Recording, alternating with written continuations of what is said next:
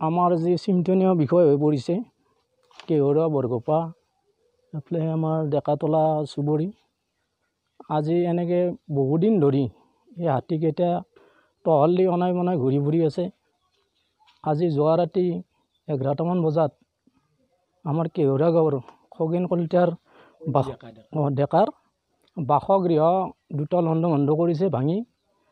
সেয়েহে মই চৰকাৰক এইটোৱেই জনাওঁ আমাৰ বিধায়ক জয়ন্ত মল্ল বৰুৱাক আৰু মুখ্যমন্ত্ৰী মহোদয়ক যাতে ক্ষতিপূৰণ তেখেতক আৰ্থিকভাৱে হ'লেও তেখেতক সহায় কৰে কাৰণ তেখেতে দিন হাজিৰা কৰি এনেকৈ পোহপাল দি আছে ঘৰখনক।